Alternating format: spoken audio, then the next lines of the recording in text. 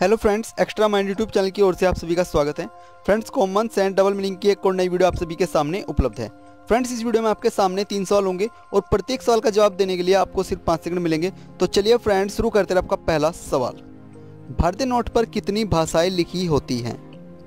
तो फ्रेंड्स यहाँ पर आपको इसका जवाब देना होगा सिर्फ़ पाँच सेकंड में ही। अधिक समय चाहिए तो आप वीडियो को पॉज भी कर सकते हैं। देखते हैं यहाँ पर आपके पास कितनी नॉलेज है। अगर आपको मालूम है तो जल्दी करें। नीचे कमेंट बॉक्स में हमें इसका आंसर ज़रूर बताएँ कि भारतीय नोट पर कितनी भाषाएँ लिखी होती हैं। ये जनरल नॉलेज का क्वेश्चन है। इस तरह क्वेश्चन अक्सर एग्ज़ाम में फिर इंटरव्यू में आ जाते हैं। तो इस तरह क्वेश्चन आपको याद रखना बहुत ज़रूरी होता है।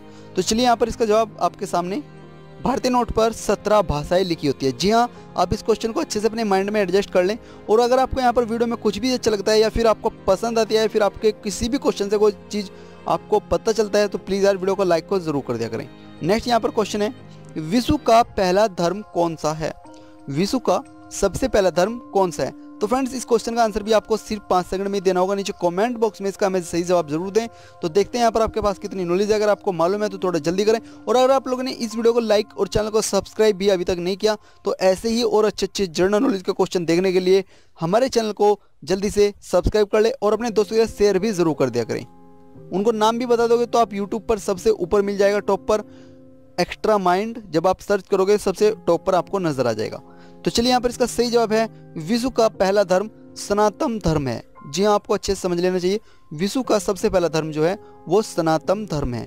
चलिए वीडियो का लास्ट क्वेश्चन है, ब्रा को हिंदी में क्या कहते हैं? जी हाँ आपने अक्सर ब्रा का नाम तो सुना ही होगा, जो अक्सर लेडीज़ यूज़ करती हैं, ब्रा को हिंदी में क्या कहते हैं? तो फ्रेंड्स इस क्वेश्चन का भी आंसर आपको पाँच सेकंड में देना होगा। ये भी एक तरह का जनरल नॉलेज का क्वेश्चन है, आप इस क्वेश्चन को किसी के साथ भी शेयर करते हो, कर सकते हो। यहाँ पर इस क्वेश्चन का आंसर अक्सर लड़कियाँ भी नहीं दे सकती हैं। तो ये आपको उनके साथ अगर आपसे मालूम करना है उनसे भी तो उनकी दिमाग को आप पढ़ सकते हैं, कितना ये इनके पास नॉलेज है। तो आप उनको बता सकते हैं, अपनी इंप्रेशन वहाँ पर जमा सकते हैं।